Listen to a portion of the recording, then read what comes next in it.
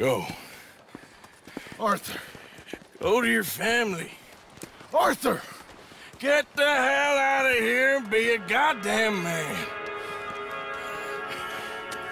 You're my brother. I know. I know.